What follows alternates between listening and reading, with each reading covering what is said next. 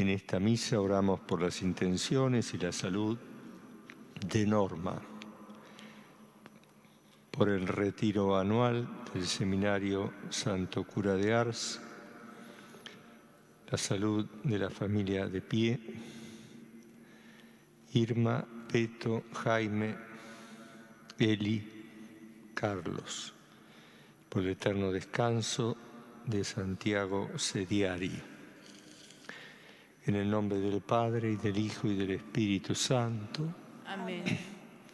Y que la gracia, la misericordia y la paz de Dios nuestro Padre y de Jesucristo el Señor estén con todos ustedes. Y con tu espíritu. Nos unimos en la súplica penitencial.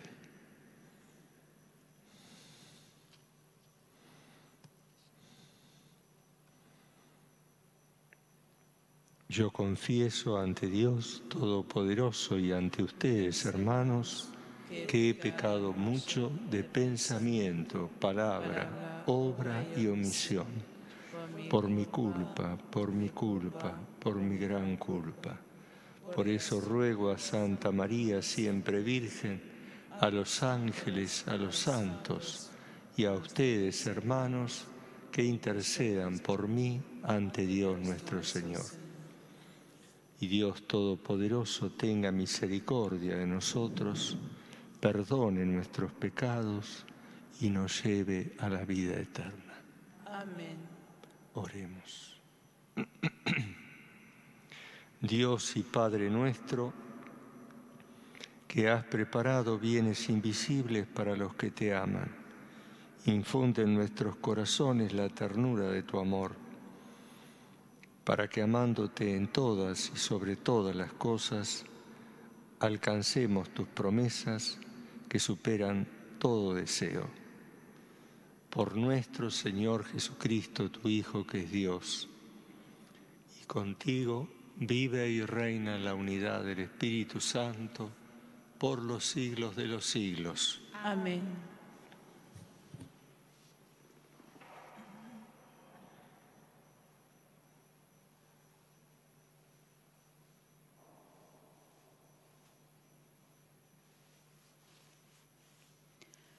Lectura de la profecía de Ezequiel. La mano del Señor se posó sobre mí y el Señor me sacó afuera por medio de su espíritu y me puso en el valle, que estaba lleno de huesos. Luego me hizo pasar a través de ellos en todas las direcciones y vi que los huesos tendidos en el valle eran muy numerosos y estaban resecos. El Señor me dijo, Hijo de hombre, ¿podrán revivir estos huesos? Yo respondí, Tú lo sabes, Señor. Él me dijo, Profetiza sobre estos huesos, diciéndoles, Huesos secos, escuchen la palabra del Señor. Así habla el Señor a estos huesos. Yo voy a hacer que un espíritu penetre en ustedes y vivirán. Pondré nervios en ustedes. Haré crecer carne sobre ustedes. Los recubriré de piel. Les infundiré un espíritu y vivirán. Así sabrán que yo soy el Señor. Yo profeticé como se me había ordenado y mientras profetizaba se produjo un temblor y los huesos se juntaron unos con otros. Al mirar, vi que los huesos se cubrían de nervios, que brotaba la carne y se recubrían de piel, pero no había espíritu en ellos. Entonces el Señor me dijo, convoca proféticamente al Espíritu, profetiza, Hijo de hombre, tú dirás al Espíritu, así habla el Señor. Ven, Espíritu, ven de los cuatro vientos y sopla sobre estos muertos para que revivan. Yo profeticé como Él me lo había ordenado y el Espíritu penetró en ellos. Así revivieron y se incorporaron sobre sus pies. Era un ejército inmenso. Luego el Señor me dijo, Hijo de hombre, estos huesos son toda la casa de Israel. Ellos dicen, se han secado nuestros huesos y se ha desvanecido nuestra esperanza. Estamos perdidos. Por eso profetiza diciéndoles, así habla el Señor. Yo voy a abrir las tumbas de ustedes, los haré salir de ellas y los haré volver, pueblo mío, a la tierra de Israel. Y cuando abra sus tumbas y los haga salir de ellas, ustedes, mi pueblo, sabrán que yo soy el Señor. Yo pondré mi espíritu en ustedes y vivirán. Los estableceré de nuevo en su propio suelo y así sabrán que yo soy el Señor. El Señor lo he dicho y lo haré. Palabra de Dios. Vamos a responder, den gracias al Señor porque es bueno. Den gracias al Señor porque es bueno. Que lo digan los redimidos por el Señor, los que Él rescató del poder del enemigo y congregó de todas las regiones del norte y del sur del oriente y el occidente. Señor, bueno. Los que iban errantes por el desierto solitario, sin hallar el camino hacia un lugar habitable, estaban hambrientos, tenían sed y ya les faltaba el aliento. Al Señor porque es bueno pero en la angustia invocaron al Señor y Él los libró de sus tribulaciones, los llevó por el camino recto y así llegaron a un lugar habitable. Den gracias al Señor porque es bueno. Den gracias al Señor por su misericordia y por sus maravillas en favor de los hombres, porque Él sació a los que sufrían sed y colmó de bienes a los hambrientos. Den gracias al Señor porque es bueno.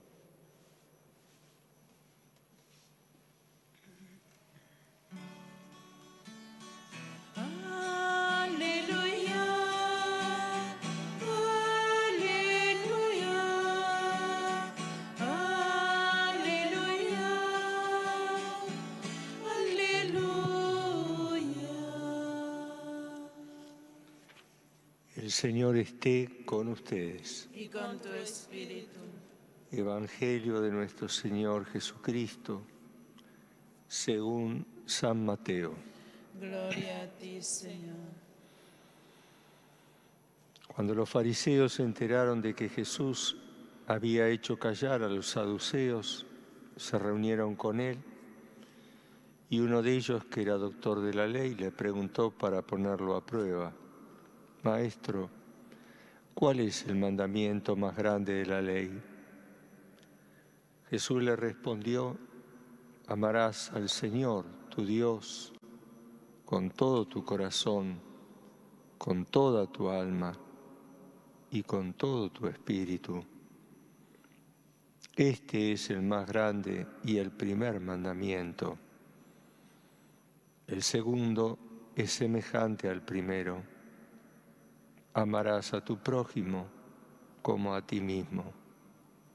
De estos dos mandamientos dependen toda la ley y los profetas. Palabra del Señor. Gloria a ti, Señor Jesús.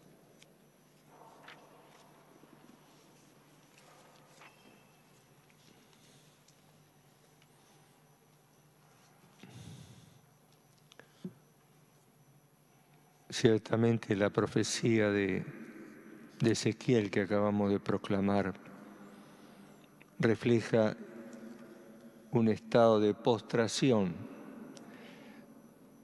es decir, postración en el sentido no de adoración del único y verdadero Dios, sino como quien está yaciendo en un estado de agonía y de muerte. Así está el pueblo desterrado. Ezequiel es el profeta del destierro. Israel ha perdido todo, incluso su tierra. Y los pocos sobrevivientes fueron deportados a, a Babilonia en el siglo VI antes de Cristo. Por eso esta profecía de Ezequiel quiere resucitar la esperanza. Pero la esperanza ya no se apoyará en los reyes o en las alianzas con las potencias que rodeaban a Israel, sino tiene que volver al único y verdadero Dios. Si el pueblo está reseco, sin esperanza y agonizando en el destierro, el Señor a través del profeta le anuncia que la única manera de resucitar y resurgir como pueblo es que reciban el Espíritu de Dios. Como huesos secos que han perdido la vida, lo único que puede devolver la fuerza y la cohesión como pueblo de la alianza es que el Señor profetice, para que envíe su Espíritu. Envía, Señor, tu Espíritu y todo será creado. Todo volverá a la vida. Y, esa, y lo que da vida a un pueblo, a una comunidad, a nuestra, a nuestra propia existencia, es que volvamos a aquel que nos amó primero. Porque el mandamiento de, la alianza, del amor a Dios con todo el ser y al prójimo como a uno mismo, lo antecede algo que no está dicho en esta respuesta de Jesús pero que es el fundamento. En realidad el primer mandamiento es dejate, dejémonos amar por Dios. Cuando uno experimenta el amor que Dios, nosotros hemos como dice el apóstol Juan, nosotros hemos creído, hemos conocido el amor que Dios nos tiene, hemos creído en Él. Si no experimentamos el amor de Dios en nosotros, el amor cristiano, el amor de caridad, nace de la experiencia de haber sido amado por Dios. Esa es una experiencia de cada día. Si nos acostumbramos a despertar a un nuevo día, si todo nos parece ya rutinario, entonces señal que se está apagando el amor, porque das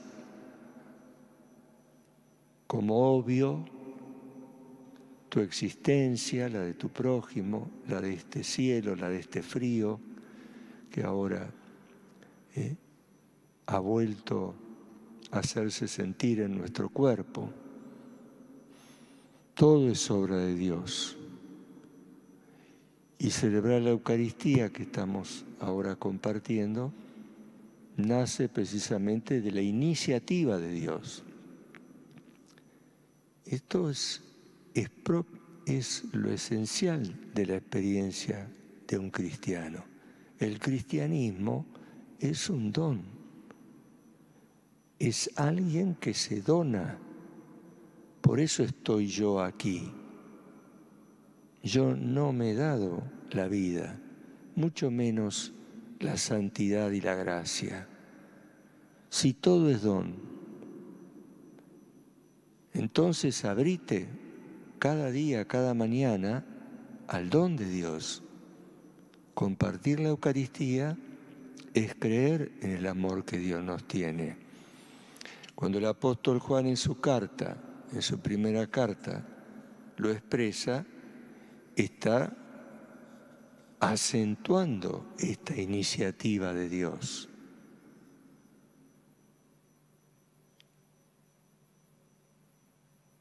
Hermanos, Queridos, amémonos unos a otros, porque el amor procede, procede de Dios. Y todo el que ama ha nacido de Dios y conoce a Dios. Porque en definitiva después va a decir que Dios es amor. ¿Qué define a Dios en su misma en su misma esencia? No es otra cosa que el amor. Porque Dios es Padre, Hijo y Espíritu Santo, es relación subsistente y eterna de amor entre el Padre, el Hijo y el Espíritu y es tan intensa esa relación subsistente en Dios que hace posible por una decisión gratuita y sobreabundante de Dios de, dar, de darnos vida. El amor procede de Dios. Quien ama nació de Dios, ya vive en Dios. Entonces, no nos olvidemos de esto. El amor a Dios y al prójimo es consecuencia del amor que Él nos tiene y que nosotros hemos recibido y aceptado y seguimos recibiendo y aceptando cada día. En la medida en que eso se vuelve consciente en nosotros, surge la respuesta gratuita de gratitud y de generosidad, cada vez mayor, porque lo propio del amor de Dios es que no tiene medida y que su paciencia con nosotros se renueva cada mañana.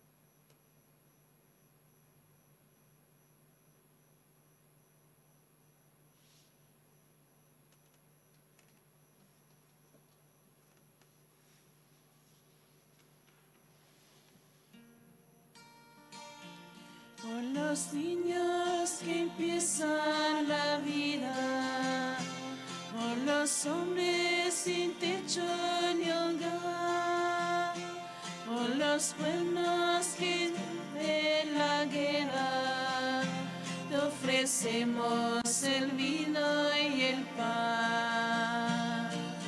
Pan y vino sobre el altar,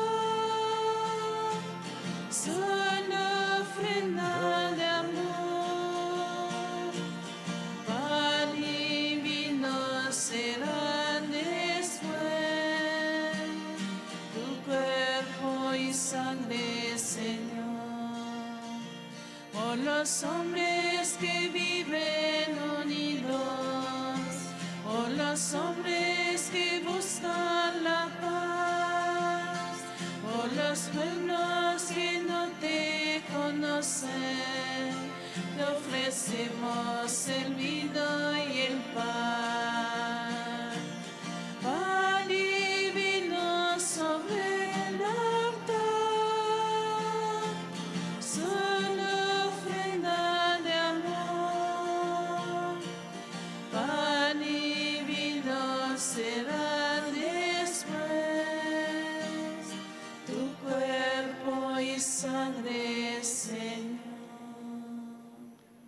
Oremos, hermanas y hermanos, para que esta ofrenda nuestra sea agradable a Dios Padre Todopoderoso. El Señor reciba de tus manos ese sacrificio para la gracia y gloria de su nombre, para nuestro bien y de toda su santa iglesia. Acepta, Padre, nuestra ofrenda en la cual se realiza un admirable intercambio para que al ofrecerte lo que nos diste, podamos recibirte a ti mismo, por Jesucristo nuestro Señor. Amén. El Señor esté con ustedes. Y con tu espíritu Levantemos el corazón. lo tenemos levantado hacia el Señor. Demos gracias al Señor nuestro Dios. Es justo y necesario. En verdad es justo darte gracias, Padre Santo, siempre y en todo lugar, por Cristo tu Hijo amado. En Él has querido restaurar todas las cosas y hacernos participar a todos de su plenitud. Él que era de condición divina, se anonadó a sí mismo y por su sangre derramada en la cruz, pacificó todas las cosas. Y así, constituido Señor del universo, es fuente de salvación eterna para cuantos creen en Él. Por eso, unidos a los ángeles y a los santos, te cantamos. Santo, santo, Santo, santo, santo es el Señor, Dios del universo. Santo es el Señor. Santo, santo, santo, santo es el Señor, Dios del universo. Santo es el Señor. Osana en el cielo, Osana en las alturas, bendito el que viene en nombre del Señor. Osana en el cielo, Osana en las alturas, bendito el que viene en nombre del Señor. Santo eres en verdad, Padre, fuente de toda santidad.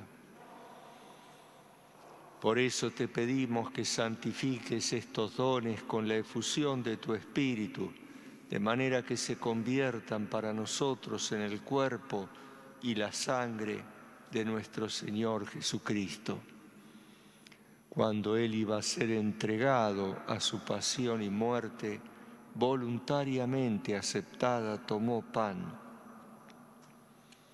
Dándote gracias, lo partió y lo dio a sus discípulos, diciendo, tomen y coman todos de él, porque esto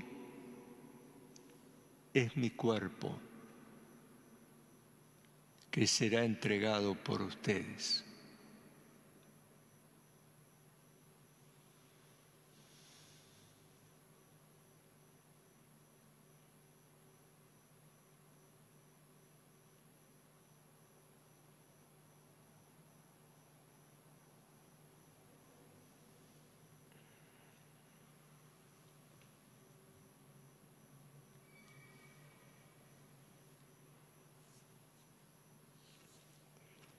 Del mismo modo, acabada la cena, tomó el cáliz. Dándote gracias de nuevo, lo pasó a sus amigos diciendo, tomen y beban todos de él, porque este es el cáliz de mi sangre. Sangre de la alianza nueva y eterna, que será derramada por ustedes y por muchos para el perdón de los pecados. Hagan esto en conmemoración mía.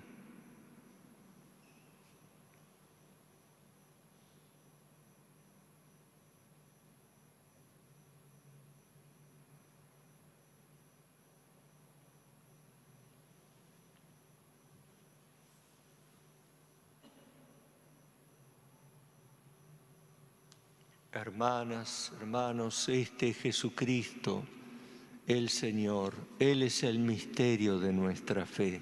Anunciamos tu muerte. Proclamamos tu resurrección. Ven, Señor Jesús.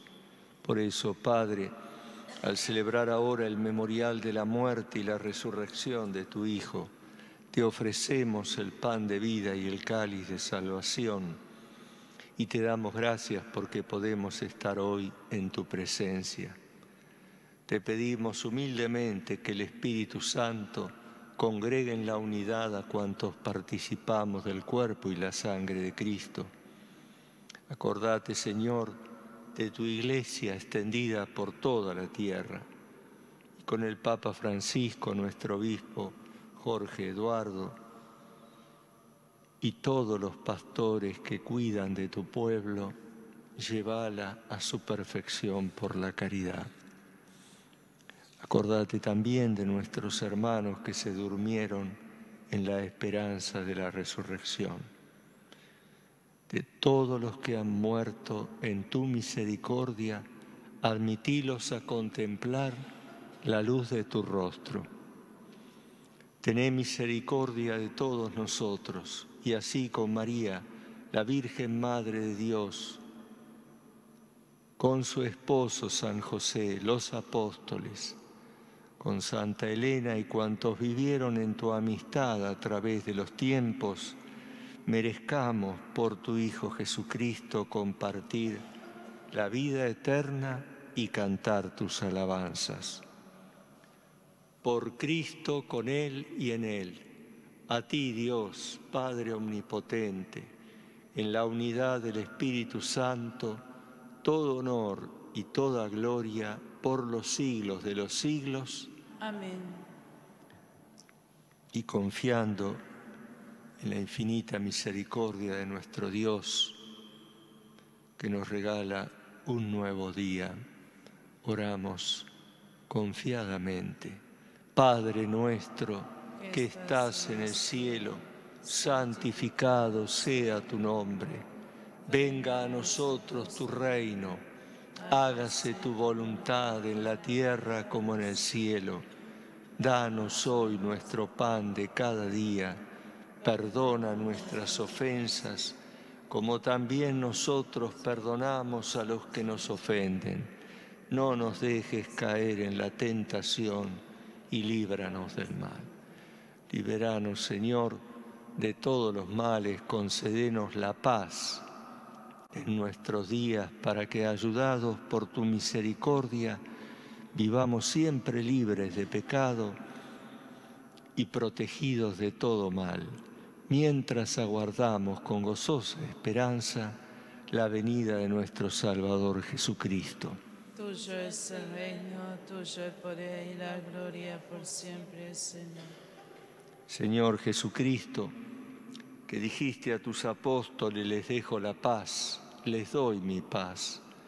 No tengas en cuenta nuestro pecado, sino la fe de tu iglesia, y conforme a tu palabra, concedenos la paz y la unidad, tú que vives y reinas por los siglos de los siglos. Amén. La paz de Jesucristo esté siempre con ustedes con tu espíritu compartamos la paz que Cristo nos da.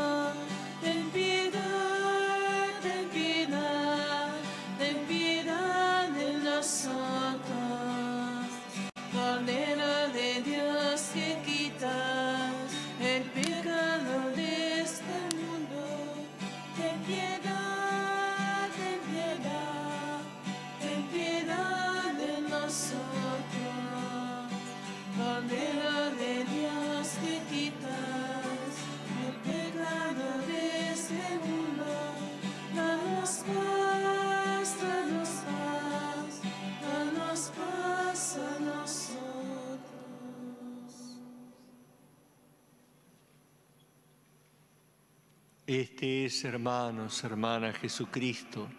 Él es el pan que renueva nuestra vida. Felices los invitados a participar de esta mesa. Señor, Señor yo no soy digno de que entres en mi casa, pero una palabra tuya bastará para sanarme.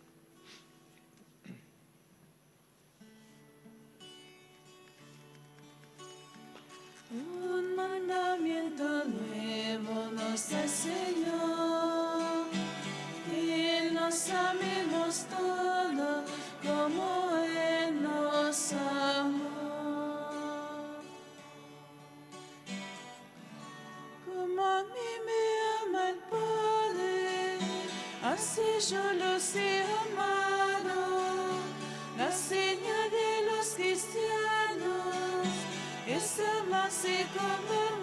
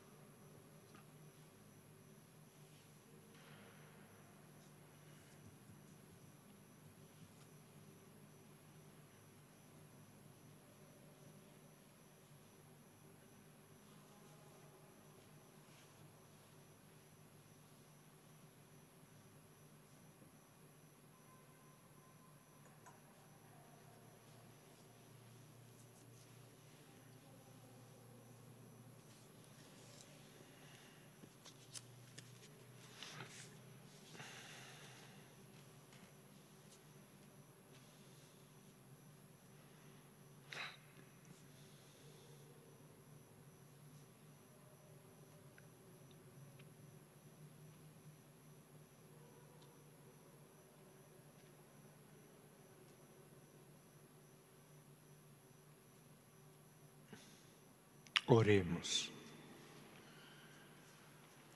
Dios y Padre nuestro, unidos a Cristo por este sacramento admirable, imploramos humildemente tu misericordia para que hechos semejantes a Él en la tierra, merezcamos gozar de su compañía en el cielo. Quien vive y reina por los siglos de los siglos. Amén. Nos ponemos bajo el amparo de María, nuestra Madre, al comenzar este día. Dios te salve María. Llena eres de gracia, el Señor es contigo. Bendita tú eres entre todas las mujeres, y bendito es el fruto de tu vientre, Jesús. Santa María, Madre de Dios, ruega por nosotros pecadores, ahora y en la hora de nuestra muerte. Amén. Virgencita de Luján, Ruega por nosotros el Señor esté con y ustedes. con tu Espíritu. Les acompañe y fortalezca la bendición de Dios y el amparo de nuestra Madre de Luján, en el nombre del Padre y del Hijo y del Espíritu Santo. Amén. Hemos compartido al Señor Jesús, Él es nuestra paz, vayamos en su paz. Demos gracias.